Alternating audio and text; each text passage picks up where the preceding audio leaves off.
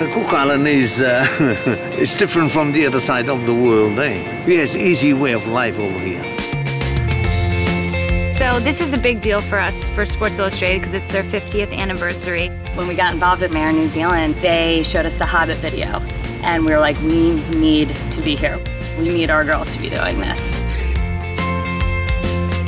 Flying into the island, I was just in awe because I saw all of this crystal clear water. I was so lucky I was able to ride out front with the pilot. The water is just turquoise blue. It's incredible. This is magical place. We are literally in paradise. I've been to a lot of beaches.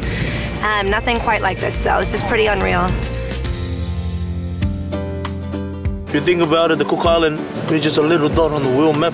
To be inside this, you know, it's a pleasure. So obviously we're not in an aircraft, we're filming on a tropical island, so safety's at the forefront of everything we're doing. So we just have to make sure that every aspect of a safety instruction that's for on board the aircraft is, is really as true as it can possibly be. Everybody here is so accommodating and so sweet and so welcoming and so warm and very handsome, I must say. The women are beautiful and the men are very handsome.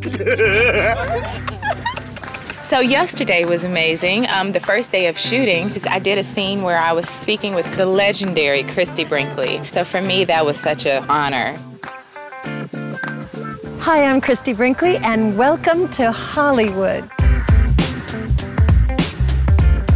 We are at a beautiful, iconic home in West Hollywood, Air New Zealand. They've created a really fun script. All the other models are down in the Cook Islands. So somehow they worked me into the act from here in Hollywood. Ariel calls me from down there and she's kind of rubbing it in because she's in paradise. Oh, I'm thrilled to be a part of it. You know, Sports Illustrated really launched me to the other half of the population to be included in their 50th anniversary celebration. I'm so flattered that they asked and thrilled to be here. Everyone's always excited when a film shoot comes to Raro or Aitutaki or anywhere in the Cook Islands because it's something different. What do you think? Of course, the boys have been excited that these girls are showing up. For the males, it's very exciting uh, knowing that's happening. Oh, yeah, amazing. Beautiful. Tonight we are shooting the final scene of the safety video and it's so awesome. We have some of the local amazing dancers and I taught them a little how to twerk.